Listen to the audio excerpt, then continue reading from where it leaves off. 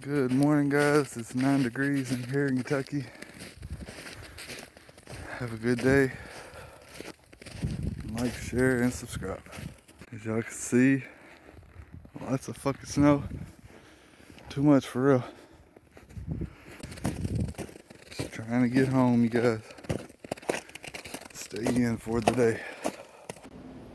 Good morning, and as I wake up drinking my coffee,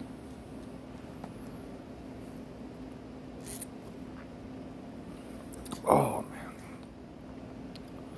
that's good.